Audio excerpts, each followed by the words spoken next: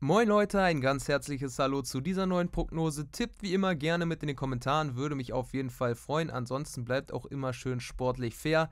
Los geht's jetzt mit Valencia gegen Atalanta Bergamo. Viel Spaß dabei und vielen Dank fürs Reinschalten. Und wie gesagt, Teil 2 bzw. Teil 4 kommt nächste Woche Montag. Los geht's! Dass die Offensive von Atalanta Bergamo nicht zu unterschätzen ist, das wusste man nicht erst seitdem wieder mal sieben Tore gefallen sind in der Liga. Im 4 zu 1 Hinspiel konnte man auch diese Leistung zeigen. Nun musste man gegen Valencia aber aufpassen, denn die Spanier kamen früh vors Tor und schlugen auf Rüzo Gonzalo Gedesch mit dem 1 zu 0 in der fünften Spielminute. Und nur zur Info, ein 3 zu 0 würde tatsächlich dem FC Valencia schon reichen. Aber da muss Atalanta Bergamo schon sehr stark nachlassen. Hier in der Anfangsphase waren sie aber überhaupt nicht drin. 13. Minute, Geoffrey Kondogbia. Keine Viertelstunde gespielt, es stand 2 zu 0 und plötzlich Valencia nur noch einen Treffer von der nächsten Runde entfernt. Was war mit den Italienern los? Langsam fanden sie dann auch zu ihrem gewohnten Offensivspiel. Ilicic Alejandro Gomez, der macht das 2 zu 1, lässt das Stadion erstummen. Jetzt braucht Valencia erstmal wieder zwei Tore, um die Verlängerung zu haben und dann dürfen sie auch keinen Treffer mehr kassieren. Große Herausforderung jetzt. Valencia startete eben richtig stark rein. Atalanta schlug einmal zu und das brachte dann auch das Selbstvertrauen für die zweite Hälfte über die rechte Außenbahn. Die Flanke in die Mitte gespielt. 55 Minuten waren hier von der Uhr nicht wirklich gefährlich. Doch die Gäste machten es jetzt ein wenig besser.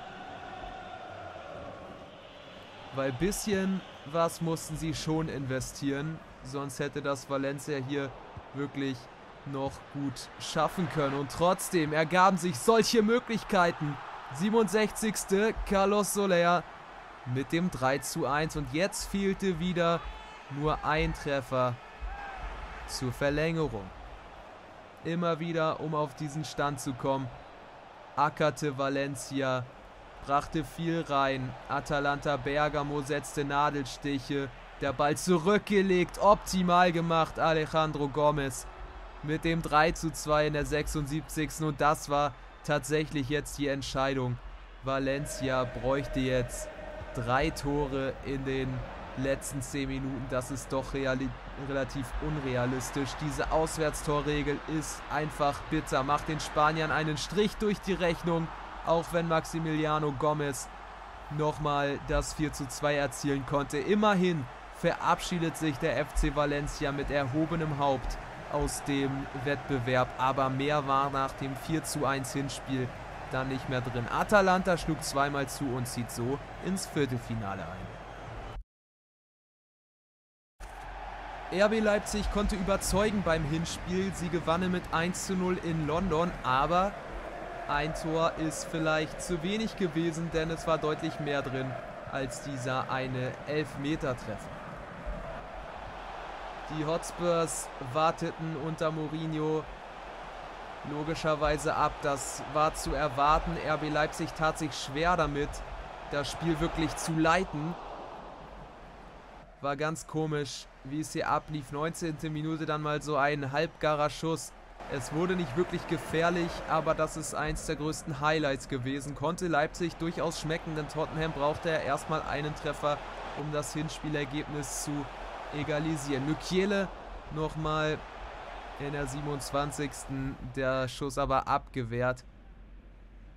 Sodass auch das nicht wirklich Gefahr brachte. Mit dem Schienbein ist da der Gegenspieler dran. Loris konnte sich freuen. 0 zu 0 nach 45 Minuten. Ganz mager, was Tottenham nach vorne ablieferte. Das musste sich jetzt in den nächsten 45 Minuten klarerweise ändern. Ansonsten ist da nicht mehr viel zu holen. Jetzt kamen sie aber, die Gäste in den dunkelblauen Trikots jetzt von links nach rechts spielen. Dele Alli, Wings, nochmal zu Dele Alli, alleine vor Gulaschi und es stand 1 zu 0. Das ist eben das Ding, wenn man nur mit einem Treffer das Hinspiel gewinnt. Eine Unachtsamkeit und der Gegner ist wieder vollkommen im Geschäft. RB Leipzig wollte sich die 120 Minuten aber ersparen, kam jetzt nach einer Stunde wieder in die gegnerische Defensivzone. Werner zu Marcel Sabitzer, Leimer durchgespielt zu Patrick Schick. Gut gemacht. Treffer hätte gezählt, keine Abseitsposition. Doch auch das war nicht zwingend genug. Jetzt wieder Tottenham. Lukas Mura, der Held aus dem Vorjahr gegen Ajax Amsterdam, nimmt hier Wings nochmal mit. Lukas Mura, einfache, schnelle Passstaffetten in die Spitze. Und Giovanni Lo Celso schlägt zu. 2 zu 0 in der 74. Minute und das bedeutete, Leipzig braucht jetzt noch zwei Tore. Ein 1 zu 2 würde nicht ausreichen. Mourinho ballte die Faust. Nach dem schwachen Hinspielauftritt konnte man damit eigentlich so nicht mehr rechnen. Aber sie sind eine international eingespielte Truppe, das sah man jetzt. Trotzdem Leipzig nochmal. Patrick Schick, 85. Minute, die Hoffnung lebte wieder. Das 1 zu 2 kam aber zu spät. Das letzte Highlight in dieser Partie. Es war eines zu wenig und Tottenham gewinnt mit 2 zu 1, zieht durch die Auswärtstorregel in die Runde der letzten acht ein. Wird der FC Liverpool jetzt plötzlich doch etwas schwächelt nach einer unmenschlich guten Hinrunde? Verlor man zuletzt zwei Spiele, also irdische Züge von den Männern von Jürgen Klopp. Im Hinspiel verloren sie mit 1 zu 0. Hier wollten sie ein schnelles Zeichen setzen, aber Atletico machte das, was man von ihnen von El Cholo unter Diego Simeone gewohnt ist. Defensiv so gut wie nichts zulassen. Wir sind schon in der 40. Minute. Weiter Lauf jetzt über die linke Seite. Der Flankenball in die Mitte gespielt. Da ist Roberto Firmino auch noch mit dem Schopf dran. Doch für Jan Oblak ist das alles andere als eine Gefahrensituation. Und so ging es mit 0 zu 0 in die Pause. Das 1 zu 0 aus dem Hinspiel spielte Atletico dermaßen in die Karten. Sie konnten hier wirklich ihren Stiefel runterspielen. Und es kam wirklich sehr wenig von Liverpool nach vorne. Nur noch eine Viertelstunde zu spielen jetzt. Wachten sie aber nochmal auf. Mané zu Roberto Firmino. Das erste Mal, dass Oblak wirklich gefordert ist. Wenn das so spät passiert, dann weiß man genau, was das für diese Partie bedeutet. Der anschließende Eckstoß brachte diese Szene. Mané holt sich den Ball noch vor dem Tor aus. Mané bleibt im Ballbesitz. Sala scheidet dann Oblak, aber er setzt nach und der Ägypter schlägt zu. 78. Minute, hochverdient die Spielanteile. Weit überlegen auf Seiten der Reds, aber den dann irgendwie über die Linie zu drücken, wie auch immer, wir sehen es hier, mit dem Kopf dann so ein komischer Aufsetzer. Hauptsache, der Ball ist drin. Jetzt hatten sie Blut geleckt. Die nächste Szene und das kann es. Das muss es vielleicht sogar sein. 83. Spielminute. Das 2 zu 0 auf dem Fuß von Oxlade Chamberlain. Aber Oblak beweist seine Klasse. Klopp konnte verzweifeln. Gab es die Verlängerung. Atletico, jetzt wagten sie sich mal nach vorne. In der Nachspielzeit, die dritte Minute angebrochen. Koke, Kopfball von Saul. Und in der dritten Minute der Nachspielzeit schlagen sie zu. Das ist unglaublich. Und unfassbar bitter für den FC Liverpool. Damit war nicht zu rechnen. Alisson Becker über 90 Minuten nicht geprüft. In der dritten Minute der Nachspielzeit kommen die Gäste vor den Kasten und schlagen zu, machen den Deckel drauf. 1 zu 1. Und das bringt Atletico tatsächlich ins Viertelfinale.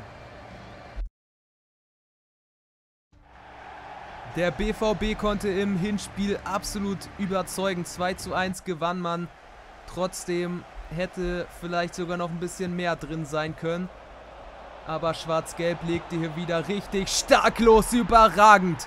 Sogar zweite Minute. Jaden Sancho mit einem absoluten Traumtor. Das ist super gespielt. Dann dieses Auge für die lange Ecke. Navas schaut nur hinterher und sieht, wie der Ball im Knick einschlägt. Besser kann es für den BVB gar nicht beginnen.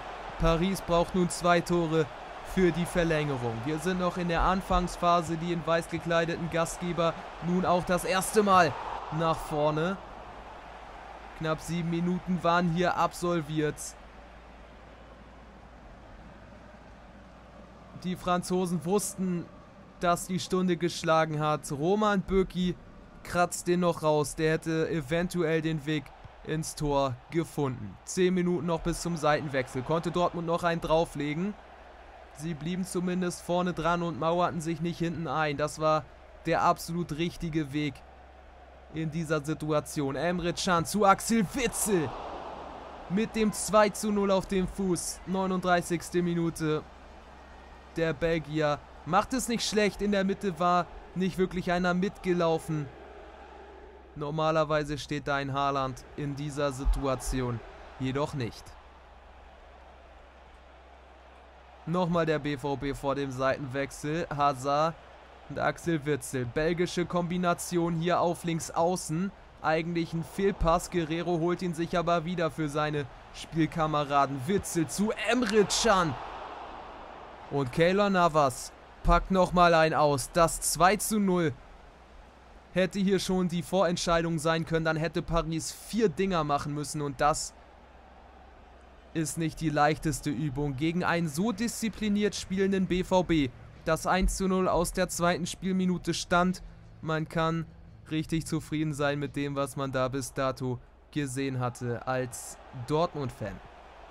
Paris wachte nun aber richtig auf und erzeugte einen ungeheuren, ungeheuren Druck. Draxler 1-1. 48. Plötzlich wieder vieles offen. Ein Treffer für die 120. Der französische Hauptstadtclub glaubte wieder an sich. Jetzt war auch noch genug Zeit, um einen Treffer, vielleicht sogar zwei, zu erzielen. Kilian Mbappé zu Neymar Junior. 57. Roman Bürki. Er wusste, auf ihn kommt jetzt einiges zu. Und den muss man so erstmal rauskratzen. Da unten, der war wuchtig, der war platziert geschossen. Super gemacht vom Schweizer. Doch den Gastgebern lief so ein bisschen die Zeit davon. Viertelstunde noch auf der Uhr. Wieder Neymar. Der beschäftigte die Dortmund da. Auch nicht so verkehrt. Schuss aus der zweiten Reihe. Der hätte fast den Weg in den Winkel gefunden. Knapper Meter, der da fehlt.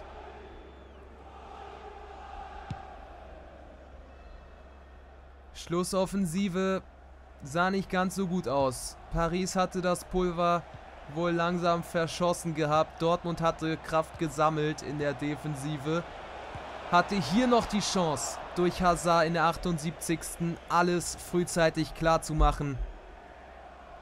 Doch Torgan Hazard vergab. Trotzdem blieb es bei diesem 1 zu 1. Der BVB erkämpft sich verdientermaßen dieses 1 zu 1, zieht nach dem Hinspiel 2 zu 1 ins Viertelfinale ein als erste deutsche Mannschaft.